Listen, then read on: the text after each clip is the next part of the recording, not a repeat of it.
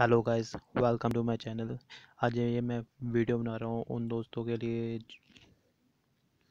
जो अपने T V S Apache का जो ब्रेक ऑयल है वो चेंज करना चाहते हैं। मैं आपको बता देना चाहता हूँ, ये Apache R T R four V जो नया मॉडल आया है, उसमें शायद मुझे पता है, कहाँ तक पता है कि जो उसका ब्रेक ऑयल है, वो उसके सीट के नीचे, आई थिंक सो।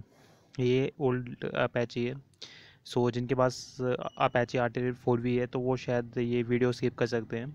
कैसे जिसके पास O T Apache R T R है तो आप देख सकते हैं कैसे जो नीचे इसके बैटरी के नीचे ये हमारे ब्रेक फ्लूड का रिजर्वेयर बना इसे खोलने के लिए हमें चाहिए होगा फोर पॉइंट का स्क्रू ड्राइवर कैसे कि ये कैसे आप देखते रहिएगा, कैसे जो जो इसका कैप होता है, उसमें लिखा होता है मिनिमम और मैक्सिमम, जो काफ़ी देर हो गया तो मैंने चेंज नहीं किया है। चेंज कह रहा हूँ तो मैंने ये फील नहीं किया है तो मैंने ये खोल दिए हुए इसे थोड़ा सा पॉप आउट करना है थोड़ा सा जो जो लगेगा, बिल्कुल थोड़ा सा पॉप आउट करके बाहर निकल जाएगा।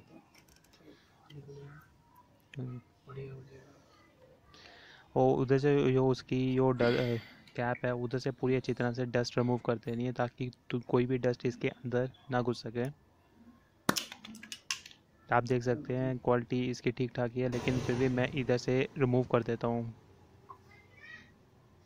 एक्स्ट्रा जो पुराना था वो मैं निकाल देता हूँ ताकि इसे फिर भी पॉप आउट करके अच्छी तरह भर दूँगा।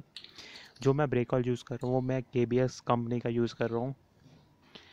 डॉट फोर मैं आपको बता देना चाहता हूँ, इस जो ब्रेक जो मेरा दोस्त बनना चाहता है, ब्रेक ऑयल खुद तो हमेशा डॉट फोर का यूज़ करें। अगर आपको नहीं भी पता तो आप जो बाइक होगी बाइक के ऊपर स्पेशल इंस्ट्रक्शन लिखी होती है, कौन से डॉट थ्री यूज़ होगा या डॉट फोर यूज़ होगा, वो प्लीज़ नोटिस करके बस वही डालें, कोई और मत डालना, नहीं तो क्या हो सकता है, ये आपका जो ए बी एस सिस्टम है, ये पूरा ब्रेक डिस्क का वो भी ख़राब हो सकता है। पूरा खोल के फिर ठीक करना पड़ेगा। इसलिए जो इंस्ट्रक्शन होती है तो प्लीज़ उसे फॉलो कीजिएगा।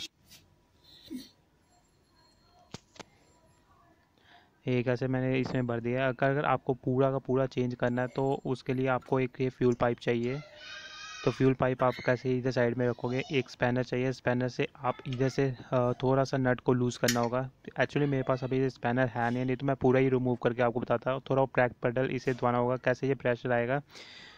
तो उधर से जो पुराना फ्यूल है, वो निकल जाए वो पुराना फ्यूल निकलेगा। और लेकिन आप याद रखना कि साथ साथ आपको जो नया फ्लूड है, उसके रिजर्वियर के भी अंदर बढ़ते डालना पड़ेगा।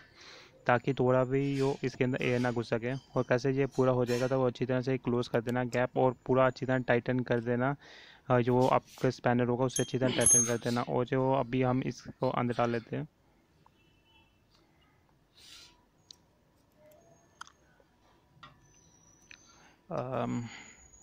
आप देख लीजिएगा जो इसका जो मैक्सिमम लेवल है मैक्सिमम लेवल से ऊपर मत ये एक्चुअली होता क्या है कि गाड़ी आगे पीछे चलाते हैं तो ये आगे पीछे गिरता है, ये अच्छी बात नहीं है। सो पूरा इसका जो मैक्स लेवल है, बस वहीं तक बढ़ेगा। उन्होंने शो किया था मिनिमम मैक्सिमम और हमेशा चेकअप करते रह के कभी भी मिनिमम के नीचे नहीं रखना होता ये हमेशा मैक्स तक रख रहे हूँ। देखते हैं मैक्स तक हो गया मेरा। तो मैं इसे ये उसका बोल्ट है, उसे टाइटन कर लेता हूँ। ये वो फोर पॉइंट का स्क्रू ड्राइवर है।